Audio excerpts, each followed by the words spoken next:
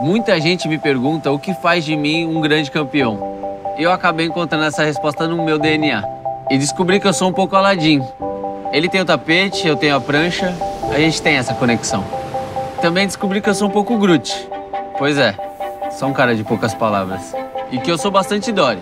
Mas isso é óbvio, porque eu vivo no mar. E porque. É. Por que mesmo? Porta, Gabriel Medina, Disney Plus, take 98.